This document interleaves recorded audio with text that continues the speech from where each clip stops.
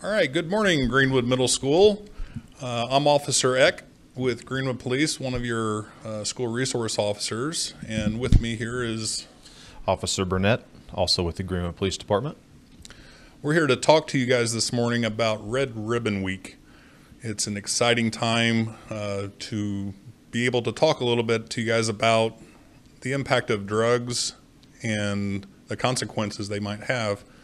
Um, so, we're going to talk a little bit, um, ask a few questions, and have some answers for you, okay?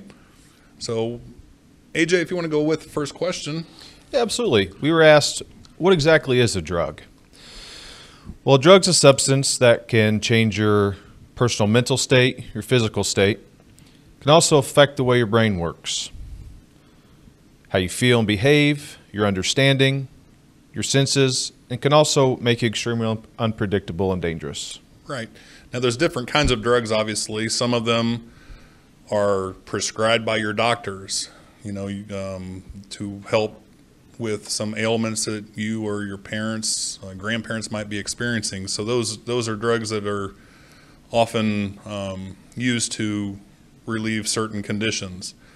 The drugs that we're more concerned with on the street are the illegal substances. Um, for example, marijuana, um, meth, cocaine, and so forth. Also, in that same category are those prescription drugs. Sometimes the painkillers are a really big um, problem um, in the wrong hands. So, um, AJ, I think we deal with just as many illegal prescribed um, substances as we do the other ones like marijuana and so forth, don't we? Absolutely. So those are those are also very dangerous um, to have in the wrong hands. So uh, definitely want to stay away from those. Okay. So let's talk about the legal consequences of if you were to be caught in possession of um, an illegal substance without a prescription. Uh, AJ, can you tell us a little bit about what's going on with the legal consequences of that? Yeah, absolutely. So it's very possible that you could face jail time. Um, it's very possible that you can face a large fine. And along with the fine, also you have legal fees that could definitely put you and your finances in trouble. Right. So not only are there, you know, legal consequences to having that, you're going to, you know, if you guys, if a student was a student athlete and playing on the basketball or football team or, you know, soccer team or whatever it might be, um, you're likely to be kicked off of that team and not allowed to play any extracurricular activities for your school. So um, not only is there a legal standpoint, there is definitely a, a school standpoint also.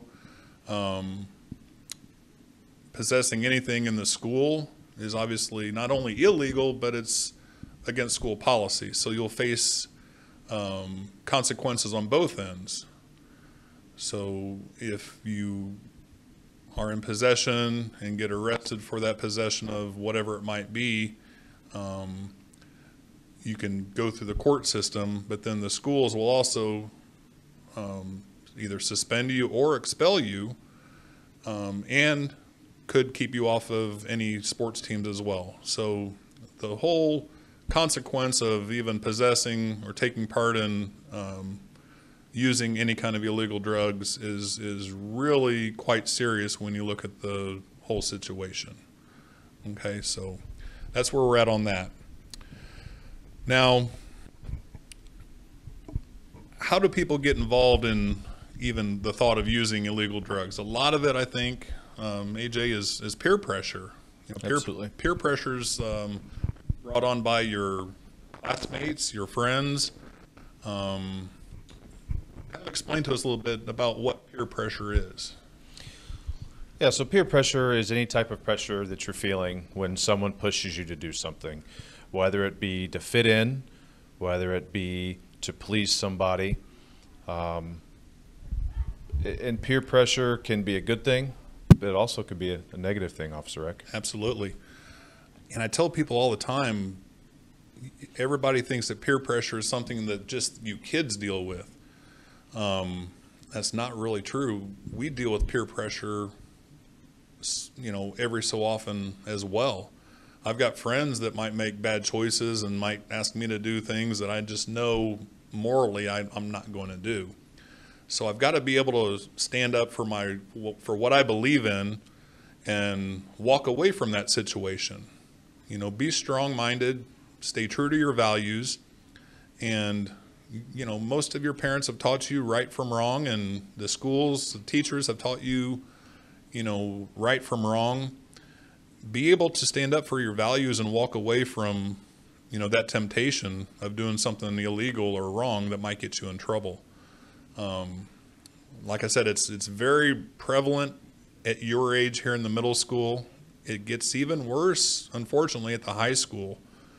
Um, peer pressure can be um, pretty um, serious at the at the high school um, because you're trying to fit in, and a lot of people will do things to just they know is wrong just to fit in with a certain group. So um, again, just stick to your values and you know say no to those situations that you know you don't stand for. Okay. Anything else we have to say on that, Officer Burnett? What about talking to somebody who you trust if you feel pressured, Officer Eck? Well, the best way to get to some sort of resolution there would be to talk to somebody that you trust um, and value their opinions also. They can often help you, um, you know, guide you through that troubled time and maybe help you understand that your um, your stance on that issue is is valuable and probably more appropriate than having to choose the other direction. So, would you say that some good resources for that would be extended family, teachers, counselors, clergy, and maybe maybe your maybe coaches? Right. Any kind of role model is would be a good person to go to um, if you had a feeling that you're being pressured to do something that you're not supposed to do or that you know is wrong uh, reach out to people. That's that's the big thing. Um, kind of lean on your friends, lean on those those people like Officer Burnett said, uh, a teacher, a counselor. That's what the counselors are here for, is to help guide you through some of those troubled times. And as you guys are starting to learn and grow more and more, you're still rather immature in some aspects, and that's why we have you know the counselors and um, other people, even us SROs, you guys should feel feel comfortable coming to us. Just pull us aside if we're here. Pull us aside and ask us to talk for just a few minutes. Any of us will be more than happy to help you through. You know, give you some guidance in, in anything that you need. So, don't hesitate at all to contact us if if you're if you know something's going on here at the school. Uh, if you know, you know something bad's going to happen be sure to speak up and say something to one of us or one of the counselors or one of the teachers um, so that we can help keep this school safe and keep the students safe also. Social media, Officer Eck. Social media, yeah, it's um, it's very dominant in today's society. Back when I was going to school, I didn't even know what a laptop was. So um, much less what the internet was. Can you guys believe that? That there was no internet when I was your age. so, social media is uh, very dominant, especially in the middle school and high school age kids. Um, it can persuade you to do things that you shouldn't do. We've had some problems here at this school with some recent TikTok challenges. Um, when you see a TikTok challenge come out, you guys, most of those are trying to get you to do something that is wrong or illegal. And it's just common sense to me that you just wouldn't do it. However, the peer pressure again sets in and causes people to um, think they're going to try to stand out from the crowd and do something silly like that. So, um, social media, all the sites, um, you need to be very careful. Um, talk to us a little bit about you know the dangers of some of the social media sites with you know even um, possible child abductions and stuff like that, which could lead to that. Yeah, absolutely. And I have that on my list here, and we'll kind of go over some stuff on how to deal with social media. Respect yourself. Show off how great you are and represent yourself accordingly on social media. Social media can and does play a major role in building and ruining personal images. Post with positivity. If you don't have anything good to say, don't post. Avoid ranting or arguing with people on social media and posting when you're upset. Share positivity and good vibes on the web. Know your followers. Allowing strangers to follow you can be very dangerous. Even if their account looks harmless, be aware that there are many fake accounts that are created as a way for bad people with ill intentions to follow teens. Also, make sure to use your privacy settings to protect your accounts from being viewed by strangers. Be careful what you post for likes. You don't want to end up insta famous for something that could destroy your future. Keep your post positive and dignified. Don't compromise your future for likes or followers. Play nice. No one has the right to harass anyone based on their sex, race, age, orientation, personal beliefs, values, etc. Avoid engaging in cyber brawls. These can and too often become deadly.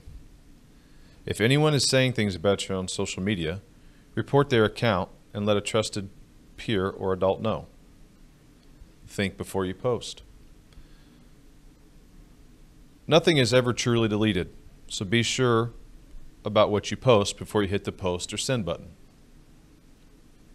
Once you post a picture or a status, it is stored on that site's server and can normally be retrieved even if, even if you delete it from your profile. If you see something, say something. Report anything inappropriate. Block or unfollow people that post negative comments on your timeline, make you uncomfortable, or harass you in any way. Manage your use wisely. Too much of anything can become a bad thing. Try putting time limits on your social media usage to make sure it is not impacting your productivity. And do not post your every move. Leave some information to share with your real friends and family. Also, be careful sharing info when you are going out of town. It's very possible that you may alert a potential burglar that you will be in the Bahamas for a week with your family. Yeah, that could lead to you coming back to an empty house. which So happens more times than not. we've had houses broken into, pets stolen. Can you imagine if your pet was stolen from your house, how devastating that would be? So the bottom line is social media, while it's a great tool for interacting with friends and family and all that, it can be a very dangerous tool also that's used by predators and other people looking to harm you. Having 2 million followers on Instagram isn't very smart. You might know 200 of those 2 million. You should keep your social media accounts as close to private as you can and knowing who's following you and only following those people that you interact with is, is usually the safest way to go about it. So be smart with social media. It's going to be out there, it's going to be with us forever. And just be smart, right? Absolutely. So, um, another question we get asked quite a bit, Officer Burnett, is I've got friends that are, I know are using drugs and I feel like they're harming themselves and maybe getting a little too far into it. How do I report somebody that, even if it's a family member, to, how do I report them to the police so that I can maybe get them help? Well, obviously, first you want to share your observations with your family. See if they're seeing what you see. Right. If they agree, if they see and or agree that there's a problem, try to find out who's going to talk to that person about it. If there's if, if they're still not willing to get help after talking with a family member or a friend, contact a substance abuse professional, mental health professional, doctor, guidance counselor, or clergy to help them speak with the individual. Those are all good answers. Um, what if what if I know my friends are starting to smoke cigarettes or starting to vape. You know, that's something we see a lot here in the middle school and high school that kids are starting to experiment with things or, or maybe even some alcohol usage. Um, you know, those, all those things there can adversely affect your mindset also. Um, would it, would it be safe for me or wise of me to approach my friend and talk to them just individually about it and see, you know, why they're doing it and maybe try to convince them to stop doing it? Absolutely. I think that goes back to what we what we talked to or spoke about a little bit earlier with the peer pressure. Look for positive peer partners. Set limits and say no. Okay. Talk to someone, talk to a trusted adult if you feel pressured. Right, and I know you guys are going to hear from uh, the nursing staff also about the effects of, of these substances on your body, so we'll leave that to them. But you know, ultimately, Red Red Ribbon Week is just about, um, you know, awareness of drug abuse, alcohol abuse, and it's it's a really good week to sit down and talk to somebody about it. So if, if you are experiencing something yourself where you've you've fallen victim to um, experimenting with something, you know, I would challenge you to uh, talk to somebody about that to get you a little bit of help because um, you know having a substance, whether it's alcohol or drugs, nicotine or vape or whatever it might be, to influence your behavior without a doctor's prescription is is is pretty dangerous and um, it's just not real smart. So again, Officer Burnett and here and I are here quite a bit during the days. Um, other officers are here. Feel free to talk to any of us about this. If you have any more questions regarding anything about this, you know, please feel free to, to talk to us about it or if you don't feel comfortable with us, talk to counselor or teachers. You guys have a wealth of resources here in this building alone. Uh, that's everybody wants to see you guys succeed. Everybody's here to help you guys. So uh, feel free to reach out to any of us, your parents or whatever, to um, ask us any more questions regarding this. So I guess that's about it. That's about all the questions we have for today. Um, do you have anything else to add? I don't. I think we covered uh, a, a right. wide variety of topics today. Should be good to go. So thank you guys for your time and, and have a good week.